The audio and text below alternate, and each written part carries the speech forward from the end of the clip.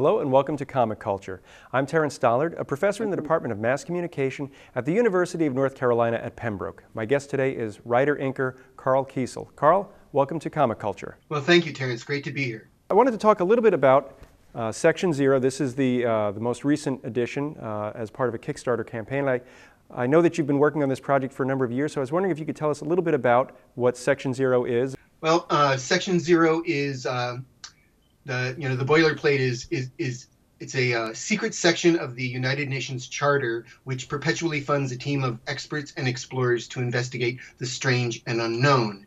Um, it's basically Jack Kirby does the X Files. So we have all of the creatures, all of the monsters, and a lot more hitting and explosions. Tom and I, we started it back in 2000 for uh, Image Comics. It was part of the Gorilla Comics imprint that was coming out from Image at the time. And um, unfortunately, uh, due to personal circumstances, I was I, I, got divorced. I could no longer continue working on it, and so we suspended it. But uh, virtually from the day we suspended it, we tried to find a way to bring it back. The problem was finding a way to pay our bills while we still worked on it. And um, there were places like IDW and even Image was interested in continuing it at the time, but they couldn't pay us any money, and I couldn't work for free. And it wasn't until Kickstarter came along that we found a way to, to do both. I mean, you know, we're paying ourselves a very low wage, but we can get by. And so we can work on something we love, and, and it makes all the difference, believe me. I guess by the time this airs, it'll have already launched, but um, you're starting a, another Kickstarter campaign. And one of the things you said is that, you know, even though you might have a publisher lined up who would be putting the books out, it doesn't cover your actual expenses. And I think a lot of people don't understand that, um, you know, your time and, and, efforts take a lot of time and effort.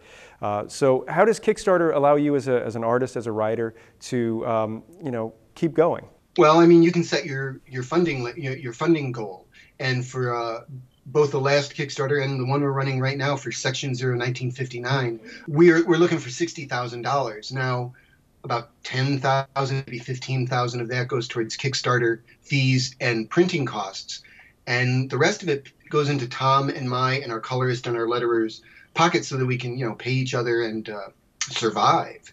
You know, um, I, you know, I, I have to say the, the example of, you know, federal workers having to go to work without getting a check that's what it's like working on a creator owned book a lot of times you're working and you're not getting paid there are there are a few books that Image will pay up money front for, um, and even Dark Horse or uh, um, IDW will pay you some money up front, but it's not enough to live on. Not when you've got a family and a house. And so Kickstarter, knock on wood, you know, once before they uh, they gave us enough money to scrape by, and we're we're hoping to get enough money to scrape by again because this is really what we love to do.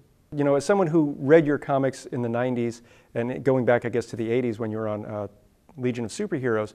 Um, it's just one of those, those things where uh, it seems a lot of creators at some point get out of comics because whatever economic reason there might be. But it's, it's interesting to see that you're able to use crowdfunding to connect to your fans and um, you know, they can help you get a book out that they want to read rather than you know, hoping that DC or Marvel might have some project that comes up. With our new one, Section 059, it's it's our tribute to the challengers of the unknown, and they fight big Kirby monsters that you would have seen in the old Tales to Astonish or uh, Strange Tales books. And quite honestly, this is a book I've wanted to do for decades. I, I have proposal art that I sent to Tom Brevoort at Marvel uh, back in the late 80s that he still has. He still has it because we've you know exchanged emails. And the, the major companies are not interested in that sort of book. And uh, I really am interested in that sort of book. So we're gonna we're gonna do it hopefully we're right now about 50% funded in two days. So uh, hopefully we can raise the other 30,000 in the next 28 days. And I was one of the, uh, I guess, the lucky folks who helped um, get this book into my hands.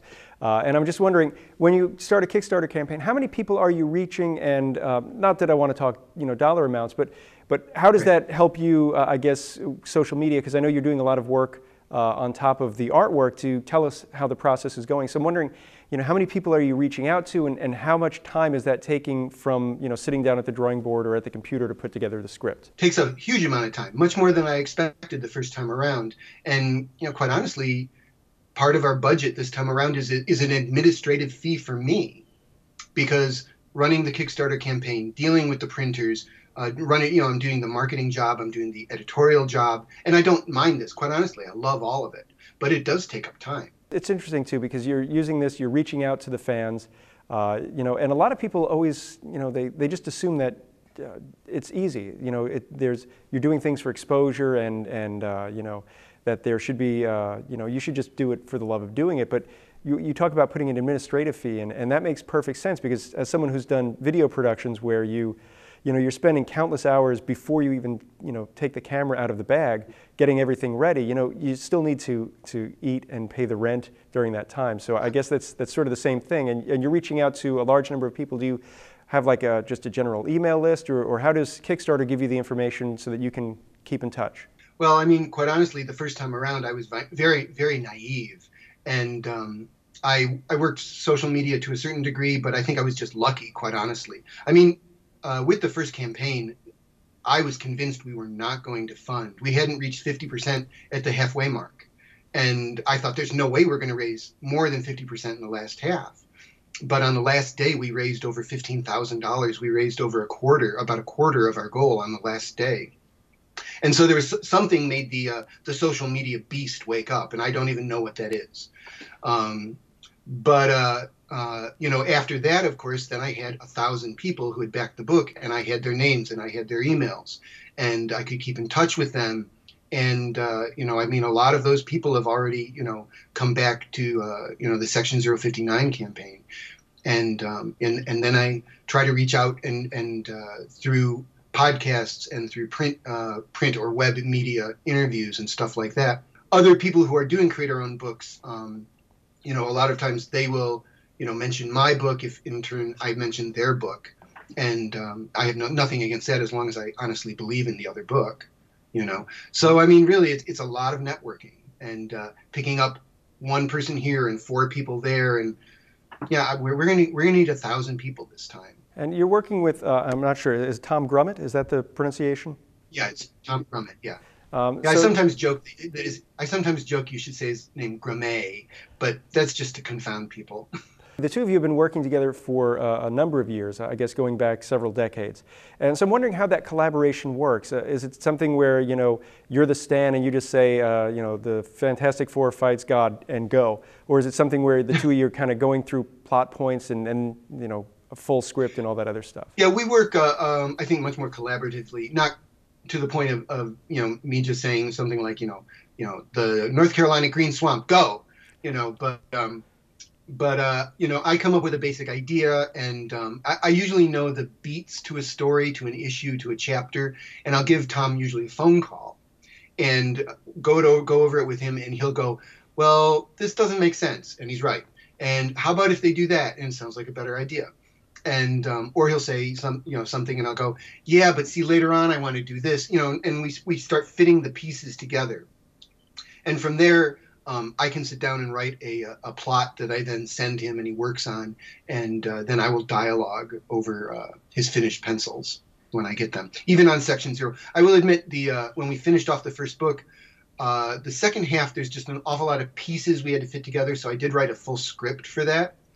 But uh, with, with section 059, we're back to doing plot dialogue and I think it's very appropriate to the kind of stories we're doing there too. And, and what makes that collaboration work? I mean, 20 years to working on a project together or different projects together.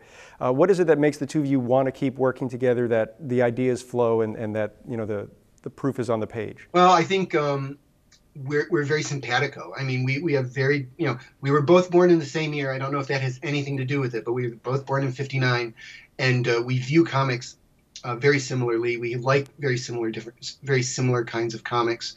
We both, you know, love those old Marvel monster comics. We love the you know the slam bang action of a cha- of a Challengers of the Unknown by Kirby or something like that. I seem to write the sort of stories Tom likes to draw, and Tom certainly draws them the way I like to have them drawn. I never have complaints about his stuff. His stuff is so uh, dynamic and so crystal clear, and he brings wonderful little nuance to the characters that sometimes I hadn't thought of. You know, um, I I really do think. Um, we're just, you know, I don't know. We fit we fit really well. That's all there is to it. Mike Nesmith wrote in his, his book Infinite Tuesdays that there's there's a moment he refers to as people becoming the band, and it's you know that moment when mm. you're collaborating with somebody and everything just kind of works for that particular period of time, and that's that to me is endlessly fascinating because um, the fact that you're able to come up with new ideas and, and new approaches.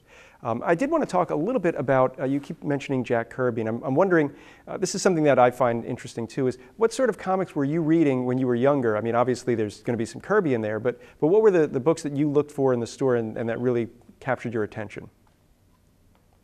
Well, Jack Kirby comics. I mean, I mean, my first favorite comic was um, was the X Men by Neal Adams and Roy Thomas. I remember deciding very definitely this is my favorite comic, and um, of course I decided that, and like two months later, they canceled the title.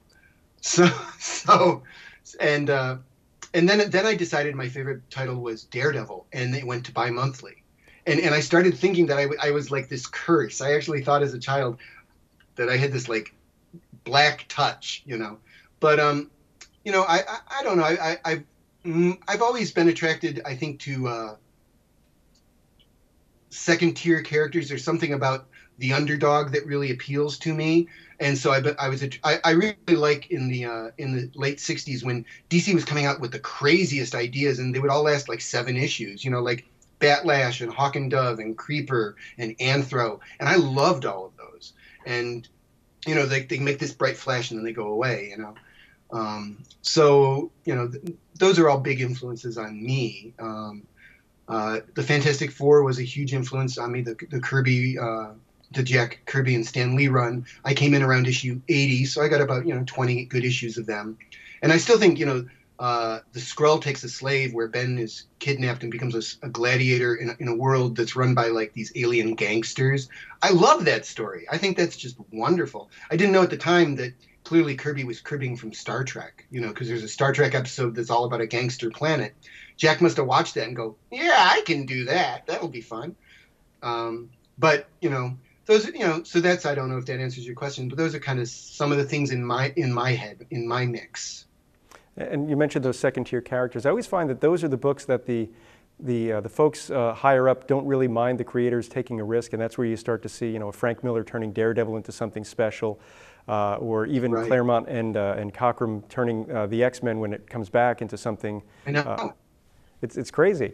Um, and I wanted to talk a little bit about the world of inking. Now, um, a lot of people might not know what an inker does. I'm wondering, what's your definition of an inker, and how do you approach when you see you know those pencils on a page? How do you uh, balance between your uh, your imprint and and what the artist, uh, the pencil artist, has done? Uh, inking is, uh, uh, generally speaking, classically pencils are not reproducible. They're, they're, the line is too soft and indistinct. So the line has to be gone over in ink, which is a very definite black and makes the page very definitely black and white, and that can become easily reproducible. I mean, obviously technology's moved kind of beyond that, but this is the way it's classically done.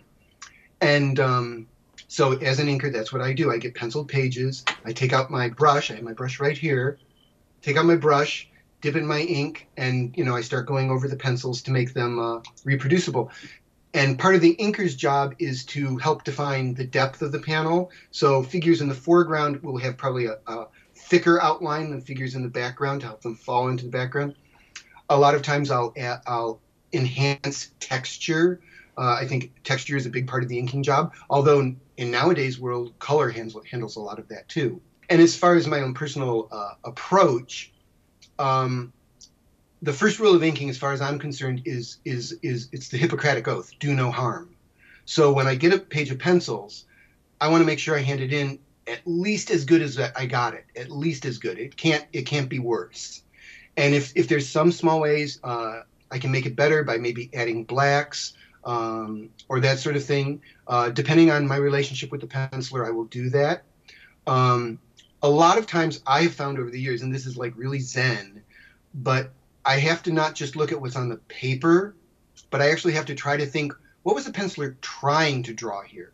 It, you know, if he's, you know, and this I guess touches on texture. What I'm about to say is, you know, if he's trying to draw water, okay, that needs a really soft organic line. And even if his line isn't soft and organic, I, you know, he wants water. I should give it a soft organic line. And if it's brick, it should have a harder edge. You know what I'm saying? Um, so sometimes it isn't just tracing what's on the paper. It's really trying to to figure out what the penciler was trying to draw and translate that into ink. You're trying, in many ways, trying to get into his head or her head. And you're talking about texture, and this is something uh, that's, you know, you're talking about trying to create depth on a, a flat two-dimensional piece of paper and make it seem like it's a real world. And uh, I'm just wondering, you, you talk about uh, an organic line, you talked about using a brush, and I'm just wondering, uh, when you're doing figures, I can understand, you know, a brush would be, you can get nice flowing uh, and, and uh, I guess, lines that go and get thicker at certain points. So how do you mm-hmm. handle uh, something like a brick wall? Is that something that you can keep using the brush with, or are you switching over to a pen? And, and how do you kind of give it that texture look? Is it just like, you know, a dot here or there? Yeah, some. I mean, it's different techniques, but I do use a pen too. I have I have my pen here too, a little crow quill. I use um I use a 108. A lot of people use a 102, but the 108 is very flexible, which you can't see on, on the TV. But so it gives you a kind of brush-like line. So I feel it it fits my brush lines better, it meshes better. And I will use that for textures like brick or, or something that I want a little more of a uh, technical line. I don't use uh, rapidographs or markers very much at all. Um, even, quite honestly, even if I'm doing long curves, uh, I, will get a French curve and hold it quite on, it, on its edge. And then I'll take my brush and go along the edge of the French curve. And, and I just think it gives even those nice, nice curved lines more of an organic feel, you know? Um, but I'll, I'll, ink even cars and machines with a brush because I, I, think it makes it look more like it's part of that world. Whereas if I'd gone in with, with you know markers or rapidographs that would kind of give it a really technical look, like it was drawn on a blueprint paper or something, to, to me that separates it from the figures a little too much. I like, you know, I think I think cars look like um, cars especially and that sort of thing look a lot warmer and more sexy when they're drawn with a brush quite honestly if you ask me.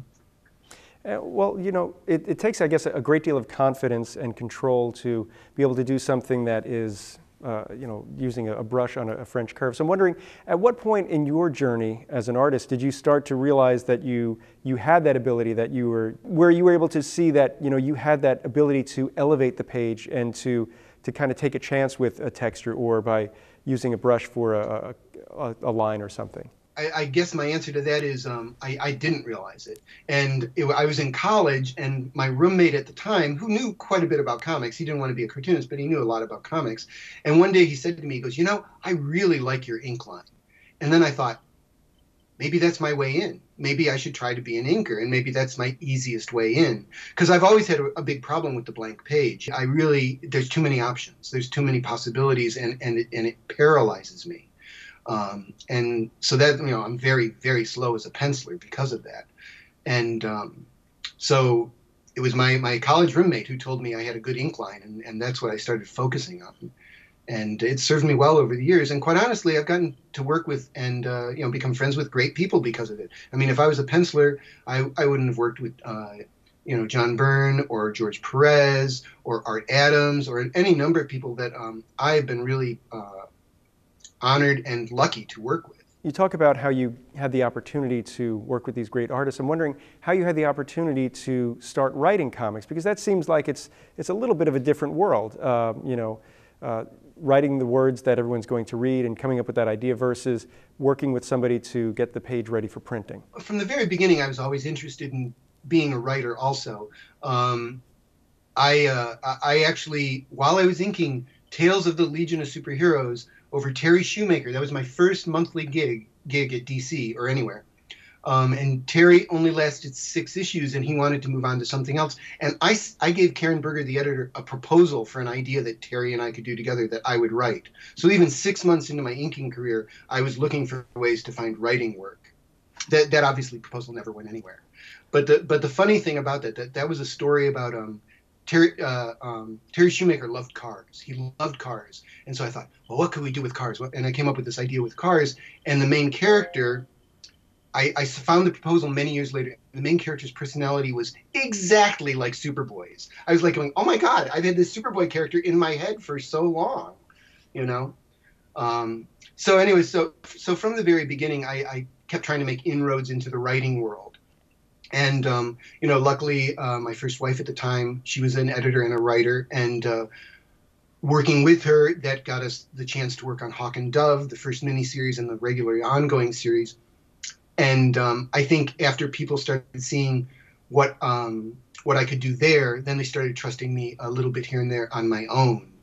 And uh, you know, then that career grew and grew. Luckily, when I was inking John Byrne on Superman, he said my nickname should be Karl the Kibitzer Kesel because I would always go, John, John, I got this idea. John, I got this idea.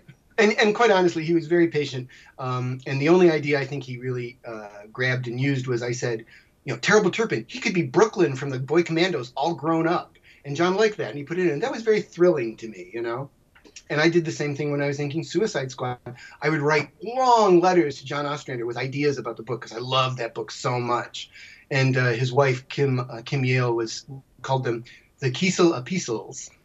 So um, it was, but uh, but anyway, so so I've always been a bother about this sort of thing, is what I'm saying.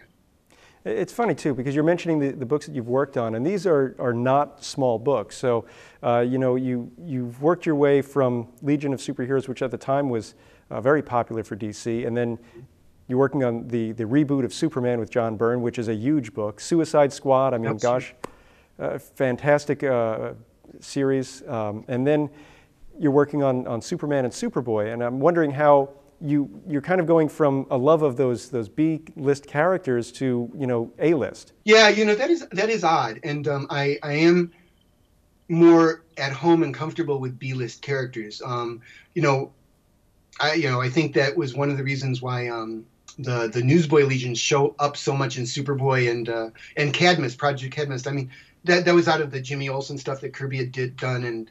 Luckily, Jerry Ordway also loved that. So Jerry seeded all of that in Adventures of Superman. Then he left the book, and when I took over writing, it was so easy to pick up those pieces because my heart was already there.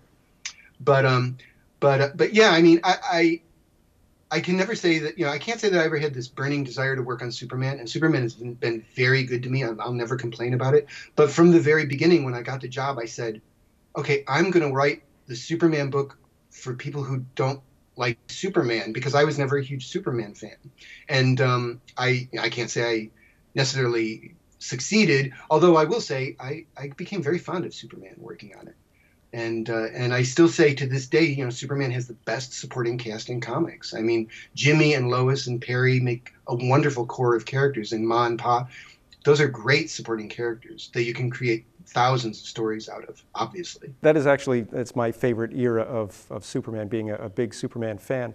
Um, I see we probably have about three minutes or so uh, left in our conversation. And I'm just wondering if we could talk a little bit more about Section Zero uh, and um, just basically, you know, when you're working on this book, you now you're talking about 1959. Uh, you had another one that was the continuation of a story that you began in the early 2000s. So I'm wondering, how many uh, iterations of Section Zero can you come up with, and, and what can we look forward to? Well, I mean, as, as long as people fund us through Kickstarter, and uh, you know, we'll, we'll, just keep pumping these things out, and uh, it really is where our heart lies. And one of the things we love about Section Zero is it is a very flexible idea, since it's founded by the uh, you know as part of the United Nations Charter. It has a history. It goes back into the late 40s. And so we can set a story in any time period from then until now. And uh, and in fact, you might see a, a, cameo by some of the Section Zero members of the future in the next book. So um, I mean, you know, the landscape is unlimited for Section Zero. It's really, you know, and, and I mean, this book came about because we were going to do more or less a, a very uh, traditional sequel to the first book. And Tom Grummett's the one that said, you know, I'd really like to do something with those first four characters, those those you know adventurers, you know, set in, in the '50s. Wouldn't that be great fun? And you know, he didn't have to twist my arm. I love that stuff. And um, and quite honestly, since we were suddenly you know both turning 60 this year, 59, 60 years ago, it, it, those pieces seem to mesh really well. So there's you know, I we can do this for the rest of our lives. Quite honestly, we can do this for the rest of our lives. And is this something where you have this? I mean, you're doing a lot of world building, but do you have like, do you know how everything was put together from uh, you know the UN Charter all the way to the present day uh, and beyond, or is this just something where it's like, hey, there's a thread here, let's see what we can come up with? It's a little bit of both. I mean, I have certain ideas. Um, you know, the you know one of the characters in the '59 book is named Everest Pike. I know his journey. I, I really have it in my head, and then I know one of the other characters go, but the other two characters, I have no idea what happens to them. You know, so sometimes and, and it's happened to me before. Sometimes these characters write themselves, and they go in directions you never would have expected expected them to go. Karl, uh, I wanted to say we, we've just about run out of time, but if somebody wanted to learn more information about Section Zero, how can they get in touch with you? How can they find out more about the book and, and look for future Kickstarter projects? Well, the easiest place to, to check out is uh, section01959.com. Uh, right now, that takes you right to the Kickstarter page. After Kickstarter is over, it'll take you to uh, um, our, our website, which is Panic Button Press. That's the, the name of our publishing empire is Panic Button Press. We've put out one book so far. Um, but, but uh, that's the easiest way to find us uh, and find out information about Section Zero, section01959.com. And those are the numbers 1959. So. Karl, thank you so much for taking time out of your schedule to talk to us today. And thank you at home for watching Comic Culture. We will see you again soon.